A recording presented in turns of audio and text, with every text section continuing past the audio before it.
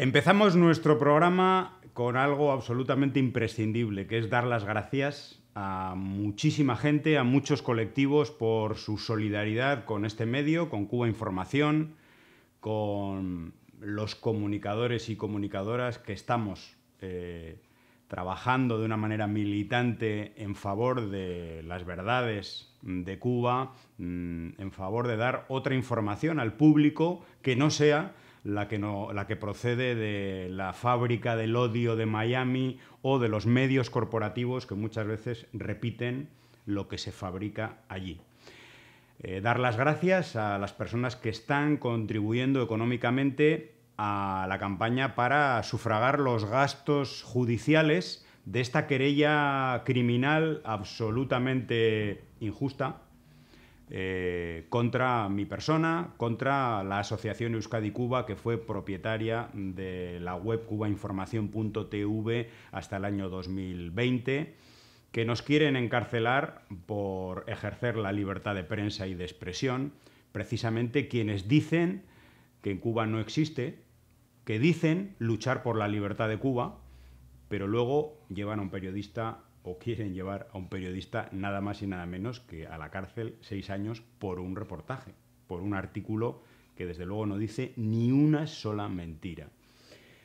Y tenemos que agradecer la campaña o las personas que han colaborado en esta campaña, que están colaborando, animar a que mucha otra gente nos apoye para conseguir la cantidad final que necesitamos mm, para al menos cubrir estos gastos judiciales, de defensa, etcétera, eh, va muy bien, se, ha conseguido en menos de una semana el mínimo imprescindible, que es la mitad, y nos queda todavía un tramo, pero hay un mes para conseguirlo, o sea que lo vamos a, lo vamos a conseguir. Muchísimas gracias. También animar a la gente a que se haga socia, socio de Cuba Información, porque es la vía para, la, eh, para el sustento permanente, a medio plazo, a largo plazo, de este medio, que solo eh, se sostiene con las contribuciones eh, populares, ¿no? recibe eh, subvenciones, etcétera, desde hace muchos años. Vamos a, vamos a comenzar, después de hacer este agradecimiento y de decir que recibimos muchísima solidaridad de mucha gente, hay un comunicado para adherirse desde colectivos, desde partidos políticos, sindicatos, etcétera, eh, para adherirse tanto a la protesta por la persecución eh, que sufrimos como a, la campaña en favor eh, de Cuba Información y la Asociación Euskadi Cuba. Y en nuestra web los colectivos se pueden adherir, ahí está bien clara la información, lo mismo que a la campaña económica. solidaridades de muchos lugares del mundo, ahí tenemos bueno, pues, un montón de eh, artículos, de entrevistas que se nos han hecho en los últimos días explicando el caso. Y decía que después de esta introducción vamos a empezar por eh, la llegada a Cuba de una personalidad de la intelectualidad progresista estadounidense, una persona importante, conocida, es la escritora Alice Walker. Alice Walker Recordemos El color púrpura, es su novela más famosa, pero ha escrito muchas otras. Una persona eh, implicada también con las luchas por los derechos civiles contra el racismo en Estados Unidos, que acaba de recibir la medalla de Santa María a propuesta del gobierno cubano. Y una persona que ha hablado una vez más bien de Cuba siendo una ciudadana de Estados Unidos que sufre el bombardeo, las presiones, la agresión por parte de, bueno, de los elementos fascistas de su país. Bueno, empezamos con una frase. Cuba es castigada por rebelarse, por intentar ser diferente. Alice Walker. Lázaro. Pues eh, ante todo un saludo cariñoso como siempre a las amigas y amigos que están con nosotros, que nos ven y que muestran también día a día su solidaridad para, con este medio, para nuestro compañero José Manzaneda y para con el pueblo cubano y la revolución. Eh, efectivamente, hay una, es una visita importante en medio de, esta guerra, de esta guerra comunicacional, de, bloqueo económico. Eh, es una personalidad de la cultura estadounidense, Alice Walker, y eh, nos honra eh, con su presencia en Cuba y lo que ha dicho es una verdad enorme, enorme. Estados Unidos quiere doblegar, pretende doblegar a Cuba, al pueblo cubano, sencillamente porque el pueblo cubano dijo basta, basta, y emprendió un camino de verdadera libertad, de democracia, democracia revolucionaria, un camino de, independencia, de soberanía, quitándose para siempre de encima la bota y la tutela del imperialismo de los Estados Unidos, tal como acostumbra ser y como estamos viendo en estos tiempos hoy en América Latina y el Caribe, concretamente, por ejemplo, en Ecuador, en Bolivia, en Perú, en Argentina. Es decir, que eh, por ese desafío, que es un desafío eh, emancipador, es dignidad, dignidad de un pueblo, es soberanía. Por eso Estados Unidos castiga, castiga o pretende castigar así al pueblo cubano. Hay que ver lo que es la historia, lo, que es la historia de los Estados Unidos en la región América Latina y Caribe. No vamos a, hablar de a nivel global. Eh, de injerencia permanente, lo vemos también, hay que mencionarlo, la injerencia en eh, los asuntos internos de la República Bolivariana de Venezuela.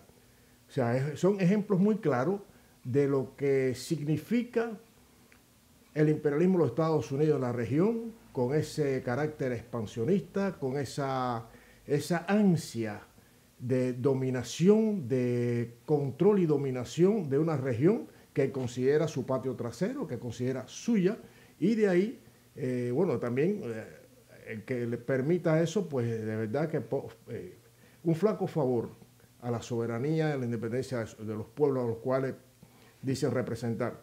Lo cierto es que esta visita es, un, es un lujo, es un privilegio.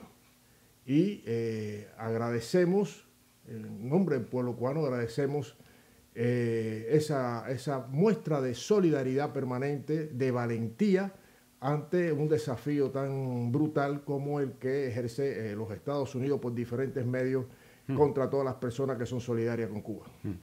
Bueno, el ataque hacia nosotros y hacia nosotras desde una organización ligada a los objetivos y a la estrategia del Departamento de Estado para implementar el bloqueo y la asfixia económica al pueblo cubano, este ataque em, y viene dado por un trabajo que hicimos en Cuba Información sobre la cooperación médica cubana. Esta organización, Prisoner Defenders, desde hace años, desarrolla desde el campo, vamos a decir, civil, eh, la estrategia de ataque del gobierno de Estados Unidos hacia este fenómeno internacional, eh, este gran ejemplo de humanismo y de derechos humanos extendidos a millones de personas en el mundo, que son eh, que es la cooperación médica cubana, que es algo que no tiene comparación. No tiene comparación, no hay ningún país que lleve semejante número de cooperantes sanitarios al mundo. Curiosamente, esta, esta organización que se querella contra nosotros y que ataca tanto a la cooperación, no puede explicar cómo es posible que decenas de miles de profesionales médicos vayan a tantísimos países cuando ellos dicen que van obligados, que son esclavos. ¿Cómo es posible que un sistema, que un, que un gobierno obligue, esclavice a decenas de miles de cooperantes? Es que la gente se lo tiene, lo tiene que pensar un poquito a la hora de creer o dar la más mínima credibilidad a lo que dicen estas, estas organizaciones en sus informes, que son informes cuyos testimonios, cuyos datos son aportados por el gobierno de Estados Unidos en su gran mayoría. Y si no es por el gobierno de Estados Unidos, es por la mafia cubano-americana de Miami, los senadores como Marco Rubio, etcétera, verdaderos, no voy a poner el, el adjetivo, pero ustedes se lo pueden imaginar la cooperación médica cubana son ya 60 años de cooperación médica cubana de este, de este enorme ejemplo eh, mundial de un pequeño país del llamado tercer mundo hacia otros países del tercer mundo e incluso también del primero. Son 60 años que se cumplían hace unos meses.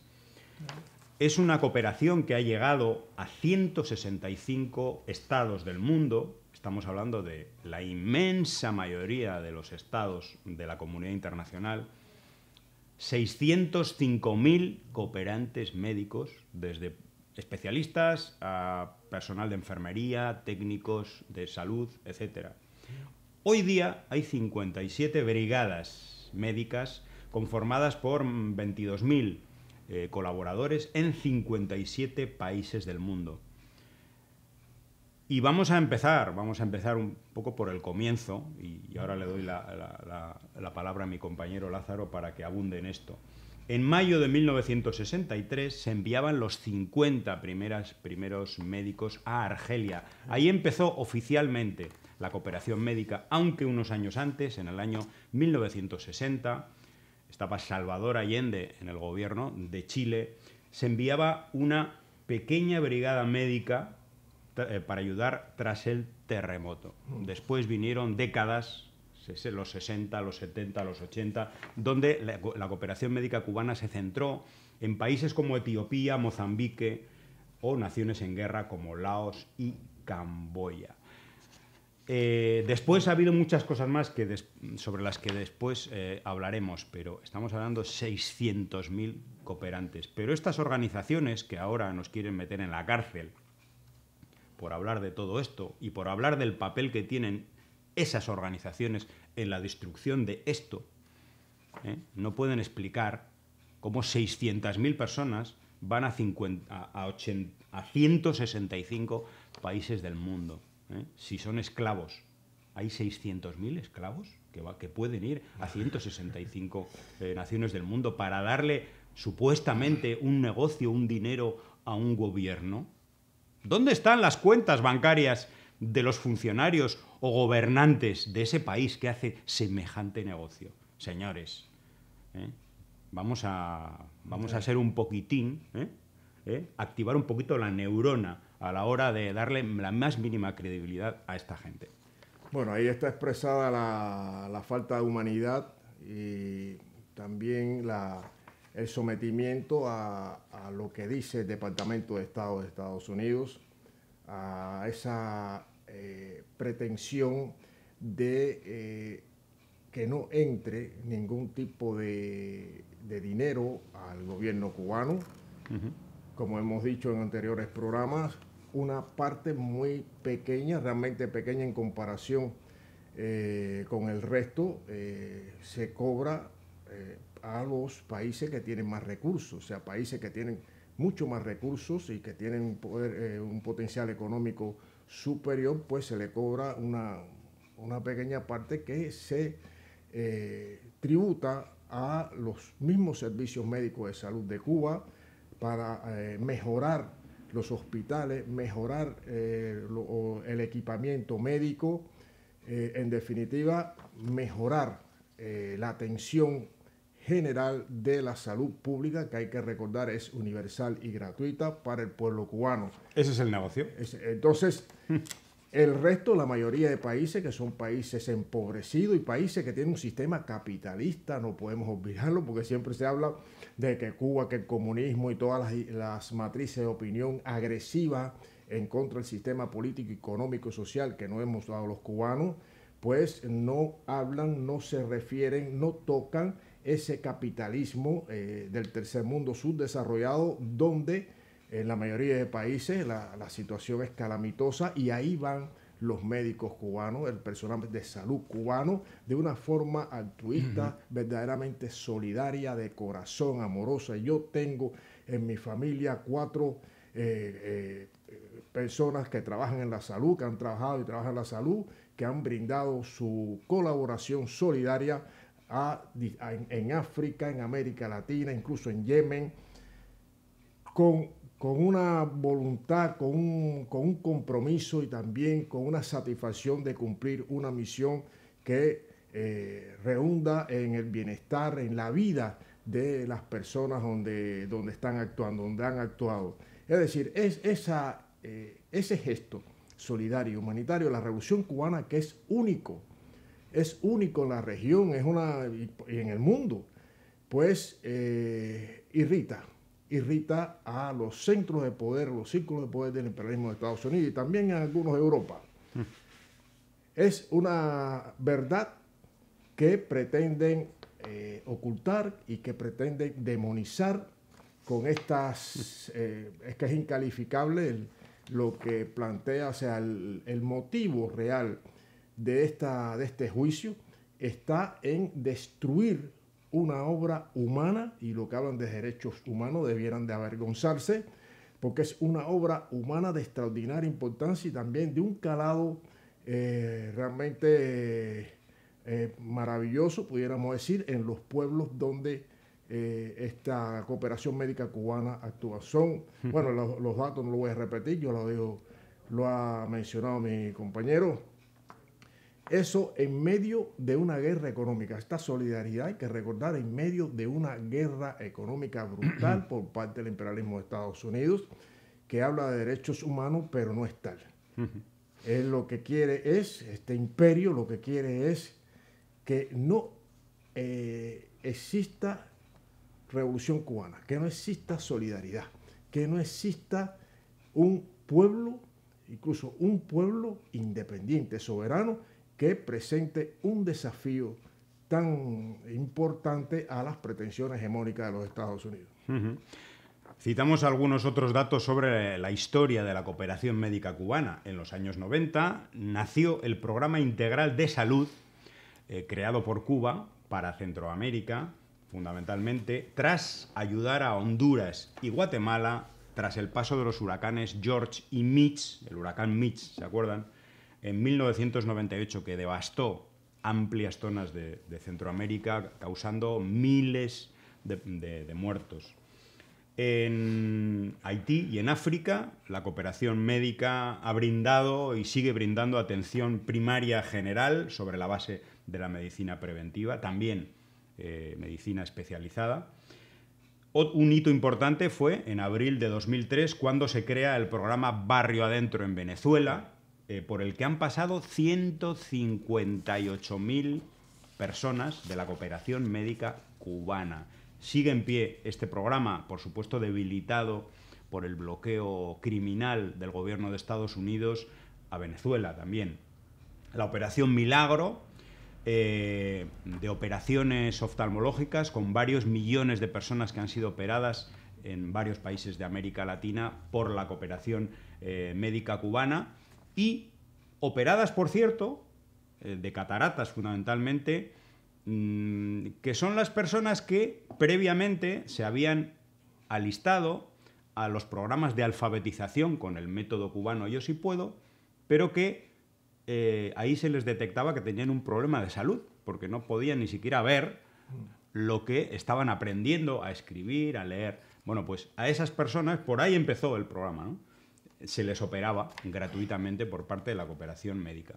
Y en septiembre del 2005, tras el paso del huracán Katrina por Estados Unidos, Fidel Castro, presidente de Cuba, en aquel momento hace un ofrecimiento a George Bush, presidente de Estados Unidos, para enviar una amplia brigada solidaria a atender a las víctimas de aquel huracán en Nueva Orleans. Fue rechazada.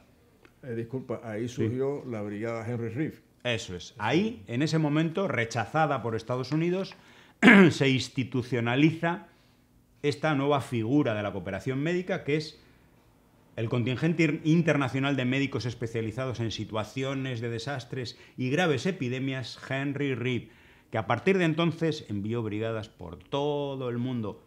Mencionar, la primera viaja a Guatemala y después a Pakistán, donde instala 3.000 colaboradores. Ahí están las fotografías en, en la nieve, en Pakistán, atendiendo a las miles de personas damnificadas por un terremoto en aquel momento. Bueno, eh, esto sería muy largo. El 2014 está el combate contra el ébola en África y después, durante la COVID, 42 naciones eh, tuvieron 58 brigadas médicas de Cuba. Bueno, esto sería muy largo de explicar, pero sin duda es un ejemplo que esta gente, estas organizaciones y el gobierno de Estados Unidos trata de borrar, de herir, de mancillar, trata de manipular a la gente, trata de llevar a Europa el mensaje de que esta gente son esclavos, esto es un negocio. Es una vergüenza absoluta. Y luego nosotros tenemos que ir a un, a un juicio por denunciar lo que hacen. Bueno, hay que mencionar también dentro de la solidaridad de Cuba con los pueblos del mundo la eh, extraordinaria Escuela Latinoamericana de Medicina, en la cual se han graduado miles de jóvenes de, eh, del llamado tercer mundo, vamos a decir, del mal llamado tercer mundo, eh, que se han graduado de, de, medicina y de otras especialidades dentro de la salud pública, incluido también ciudadanos de los Estados Unidos. Se han graduado en esa escuela, eso es parte de la solidaridad de forma gratuita educación de calidad y gratuita que eh, con la, el compromiso de prestar eh, servicios médicos en los países y en las, en las zonas más deprimidas de los países de los cuales son. Eso es también, eh, bueno, orgullo para el pueblo cubano y, y es un agradecimiento permanente de los países que ven en Cuba ese corazón, esas muestras permanentes de solidaridad en medio de una guerra brutal. ¿Qué les parece si pasamos a otro país hermano de Cuba, Venezuela, que, sufre también un bloqueo absolutamente infame por parte de los que controlan la economía del mundo en un porcentaje importante, los que emiten, los que tienen la máquina del dinero, del dólar, que sigue siendo la principal moneda de intercambio, eh, el principal mercado importador, por ejemplo, de petróleo, etc. Bueno, este bloqueo, que parece que se estaba levantando en los, últimos tiempos precisamente por el interés de la economía de Estados Unidos eh, en el escenario de la guerra Rusia-Ucrania, por el interés de recuperar eh, cierta, cierta dosis de importación de petróleo de, Venezuela, pues esto está, digamos, ha dado marcha atrás. Y el gobierno de Estados Unidos está chantajeando la soberanía de Venezuela. Si ustedes no hacen esto, les volvemos a poner sanciones. Si ustedes no permiten participar en las elecciones a una determinada candidata que está inhabilitada por el Tribunal Supremo de Venezuela, les vamos a volver a poner sanciones al petróleo. Es decir, ellos no solamente mandan en la economía, mandan también o quieren mandar en la política interna de los países es el gendarme, es el dictador, es la gran dictadura internacional, apoyada luego por organizaciones civiles que están subvencionadas o monitoreadas por ellos mismos. Leemos un, eh, un, un tuit de Indio de Venezuela, vocero de la Casa Blanca, John Kirby. Ustedes, gobierno de Venezuela, tienen hasta abril, necesitan tomar las decisiones correctas y permitir que los miembros de la oposición se postulen para cargos públicos y liberen a los presos políticos que tienen retenidos. Es decir, Estados Unidos amenaza abiertamente a un país soberano y libre de tomar sus decisiones con apego a su constitución. Bueno, eh, ¿Qué es lo que está diciendo el gobierno de Estados Unidos? Que su candidata, María Corina Machado, ultraderechista, neofascista, que está inhabilitada y que es una persona que ha pedido la invasión durante esta época dura de años atrás, la época de Juan Guaidó, todo este teatro de la infamia creado por el gobierno de Donald Trump con apoyo de Iván Duque y de la Unión Europea, etcétera. Bueno, en esos momentos esa persona apoyó todas las sanciones, toda la política de asfixia económica. ¿eh? Toda la pérdida de ingresos es culpa de ella y de sus secuaces. Esta persona ha sido inhabilitada. Esta persona que pidió la invasión militar de Estados Unidos a Venezuela ha sido inhabilitada. Pero sus padrinos exigen ahora a Venezuela que no, que tiene que participar en las elecciones. ¿eh? Que el gobierno de Nicolás Maduro tiene que hacer caso omiso de los tribunales, de la decisión de los tribunales de su país, y tiene que aceptar las órdenes de Estados Unidos. Y dice Madeleine García, esta periodista de Telesur, ¿qué haría el gobierno de Estados Unidos Si un político estadounidense propone activar una fuerza multifactorial de los ejércitos de Rusia y China para que invadan Estados Unidos, porque es lo que hizo ella. ¿Qué cosas, no? Esto le sucedería a María Corina Machado si fuera estadounidense y llamara a la invasión y a sancionar a su país. Estuviera condenada a la pena de muerte. Traición, delito de traición. ¿Qué les parece? Bueno, aquí vemos una muestra más de la injerencia de los Estados Unidos en los asuntos internos de nuestros países, de América Latina y el Caribe. Eh, no es la primera vez pero eh, llama, llama realmente la atención el hecho de que ya de forma descarada, de forma, o sea, a cara descubierta, pues eh, se presente como, bueno, es, el factor, eh, el factor que contamina, el factor contaminante de la política en no pocos países de América Latina, en nuestra América, es decir, de José Martí, el apóstol de la independencia de Cuba, que eh, vemos, a pesar del paso del tiempo, esa misma política, esa injerencia, incluso intentan hacerlo en Cuba a través de su embajada, eh, eh, monitoreando y atendiendo a todos los, a los segmentos, digamos, más blandos, más vulnerables y apátrida también, desgraciadamente, que existen en, el interior de Cuba. El hecho de que Estados Unidos eh, no le bastó con la explosión del operativo Guaidó, o sea, no, no, le bastó porque hablan de democracia, eh, ustedes dirán y pensarán qué tipo de democracia es esa, que eh, se crea una figura y se, esa figura se le ordena que se autoproclame presidente en una plaza pública y ahí vienen los dineros y los apoyos. Basta que Estados Unidos eh, haga eso, que es una, ya no, tiene calificativo, para que Europa o los gobiernos de Europa, de la Europa democrática, libre, etcétera, pues siga el dictado de Estados Unidos. O sea, no hay, en cuanto a política exterior, evidentemente no hay una independencia, no hay una soberanía. Dicen y repiten lo que dice Estados Unidos. Y aquí estamos otra vez en el mismo escenario, en la misma tesitura. Estados Unidos está desesperado por derrotar la, revolución en la República Bolivariana de Venezuela. Desesperado, debilita sanciones. Bueno, eh, estaríamos aquí largo rato eh, exponiendo las sanciones de Estados Unidos, el bloqueo financiero de Estados Unidos contra la República Bolivariana de Venezuela y la pretensión de debilitar, que también esa es la otra parte de, de este ajedrez es la relación estrecha, fuerte, sólida, de hermandad entre República Bolivariana de Venezuela y República de Cuba. Eso para Estados Unidos es de capital importancia porque debilitando o, con la pretensión de derrotar ambos procesos revolucionarios, pues ya, según ellos, tienen el camino eh, eh, despejado para retomar su poder hegemónico en, la, en América Latina y el Caribe. Y así evitar el ascenso, tratar de evitar el ascenso de China y Rusia en la región. Ya lo hemos explicado en otras ocasiones, en otros programas, es un tema de geopolítica y de la necesidad de Estados Unidos de eh, mantener ah, ese, eh, esa hegemonía a nivel global.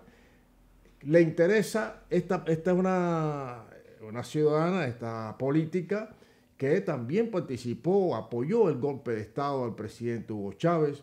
Es una, persona que ha eh, animado, digamos, la, eh, la, violencia callejera. Es una persona, bueno, lo más... Eh, el, pedir la invasión para, para, su propio país, y lo dice así, una, una, invasión, una intervención internacional. Cuando dice internacional, está incluido Estados Unidos en primer lugar, sin duda. Esta política ha sido inhabilitada, pero es la pieza que Estados Unidos está potenciando para intentar, a través de ella, derrotar el proceso revolucionario bolivariano. O sea, una injerencia en toda regla, eh, inaceptable, lógicamente, condenable y repudiable de Estados Unidos. Una vez más, una vez más en los asuntos internos de un país de eh, América mm. Latina y el Caribe.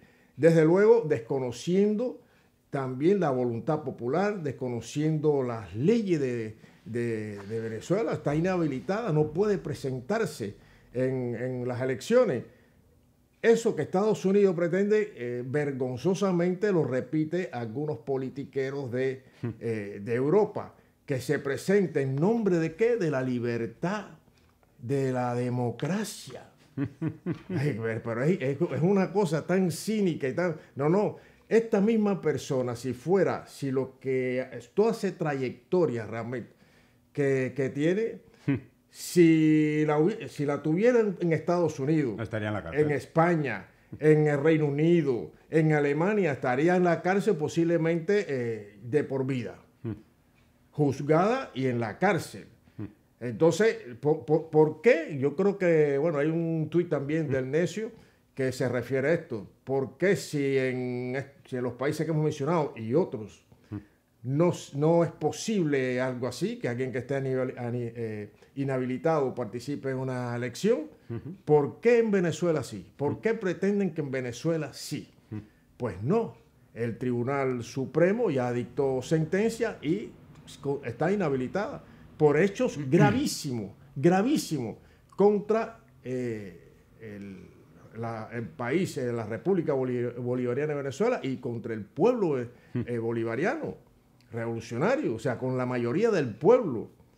Entonces, pero es, es la pieza que necesita Estados Unidos colocar para dinamitar ese proceso revolucionario y así destruir esta, esta nueva eh, revolución, una revolución en la región importante para eh, lograr con el esfuerzo mancomunado de, otros países, sobre todo eh, de izquierda y de países progresistas, con gobiernos progresistas, pues articular, unir la patria grande, hmm. la patria tan necesitada de la unidad hmm. y de desmarcarse del tutelaje de los Estados Unidos. Bueno, ¿a qué han oído eso de el bloqueo no existe? Eso es un invento del gobierno cubano para justificar eh, lo mal que lo hacen, básicamente. El bloqueo a Venezuela no existe tampoco. Lo que existe es una gran corrupción y todo el dinero se lo han llevado Maduro y sus amigos para su casa. Eh, lo han oído muchas veces, ¿verdad? Bueno. Leemos un tuit. En este caso es Rafael Correa, ese presidente de Ecuador perseguido, lawfare a lo grande como lo sufrió Lula y que está exiliado en Europa. Dice, ah, no ha sido el modelo. ¿Quién lo diría? Porque el Congreso de Estados Unidos reconoce que las sanciones contra Venezuela causaron crisis económica y migratoria. Y dice Jorge Arreaza, a confesión de parte, relevo de pruebas. Las instituciones estadounidenses reconocen que aplicaron sanciones y bloquearon la economía venezolana para desalojar a Maduro. Admiten que fallaron en su objeto, objetivo y condujeron, produjeron una crisis económica sin precedentes. Ah, no era el sistema que no funcionaba, no era la corrupción interna que generó millones de migrantes. Ah, y esos millones de migrantes no era la culpa del sistema que no funcionaba. Habría que agregar, habría que agregar que también generaron muertes, enfermedades, sufrimiento, afectación de los servicios públicos, pobreza y un sinfín de consecuencias. Valiosas confesiones para que la Corte Penal Internacional las incorpore. En el caso Venezuela, y después dice ¿no? que el sistema no funciona, que es un sistema fallido, que el comunismo, el comunismo que no funciona, que el comunismo es pobreza, hambre, miseria y necesidad. Lo mismo que el caso de Cuba, lo mismo. Y bueno, y, Nicaragua también, que la dictadura, o sea, todo el que no se doblegue a, los, a las pretensiones eh, hegemónicas de Estados Unidos, todo el que eh, no eh, le, le, le, ponga cara, le enfrente a la política de Estados Unidos, es dictadura, es un dictador. y los países con pueblos dignos, patrióticos, que defienden un, proyecto revolucionario que eh, trabaja en favor de las mayorías, no de las oligarquías ni del imperialismo, pues esos son estados fallidos, no funciona. Claro, pero no hablan de, esta, de la guerra económica, de los bloqueos. Hmm. Los bloqueos, hay que decir que, bueno, que Estados Unidos, con su poder hegemónico, el control todavía hoy del dólar, que es que ahí a través de eso chantajean a los pueblos y a los gobiernos. Pues, bueno, eh, hay pueblos que dicen que no, que se acabó. Y el pueblo de la República Bolivariana de Venezuela, el pueblo bolivariano y revolucionario, que es mayoría, y lo demuestra en cada en cada elección, cada proceso electoral, pues dice, esta es nuestra revolución y la vamos a defender. Y hay leyes, hay leyes, y hay que decirle a este señor John Kirby, este de, Departamento de Estado, que es un, Venezuela es un país también de leyes, y hay una democracia participativa, hegemónica. Una democracia que es, bueno, no existe en América Latina y Caribe otra, otra como esa el país que más elecciones ha celebrado. Hay, y no puede hablar de, partido único, hay no sé ni cuántos partidos en Venezuela que participan en las elecciones.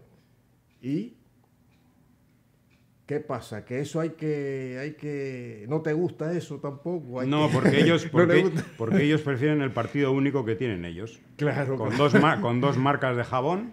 Claro, así Pero tienen la, es el mismo eh, eh, jabón, el mismo eh, jabón. es un descaro es un descaro total y es un engaño y ahí están también dentro de ese engaño los medios de manipulación y desinformación masiva que controlan ellos, al servicio de ellos y a los pueblos pues no le queda otra que, bueno, eh, un poco mirar eh, eh, a su alrededor, coger fuerza y en esta etapa tan difícil, esta coyuntura tan complicada, pues ponerse del lado de la, de la justicia, de la verdad, de la soberanía, de la independencia, de la dignidad como pueblo para enfrentar este monstruo que en su decadencia pues está, está intentando pues mantener un poder, un poder que poco a poco tiene que ir desapareciendo. Bueno, vamos a despedirnos con una, con una frase, con una paradoja mm, de esas muchas que, que nos eh, escribe Pascual Serrano, este gran periodista, en, la red X, en Twitter, eh, siempre em, mostrándonos el doble rasero de los medios de comunicación en torno a las diferentes temáticas internacionales. Dice, Televisión Española ha enviado a un equipo a grabar a la puerta de la cárcel del Ártico, que no está cerca, donde está Navalny este opositor ruso. No se les ocurrió enviar a la prisión polaca donde está el periodista español, no ruso, Pablo González. Les pillaba más lejos y los españoles nos sentimos más cerca de Navalny.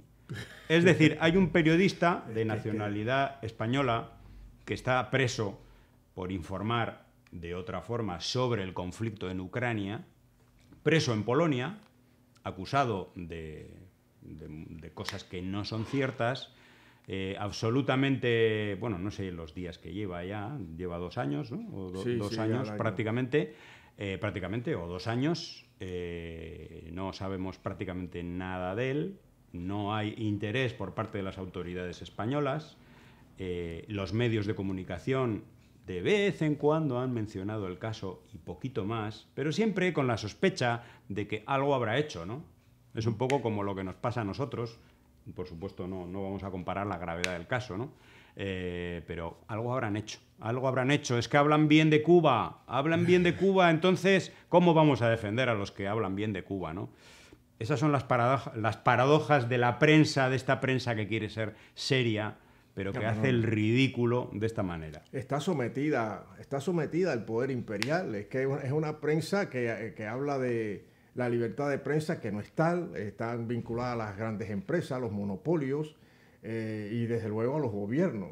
O sea, de, esa, forma que aparece como independiente, pero que es una prensa sometida. Y, y bueno, la prueba está que no aparecen...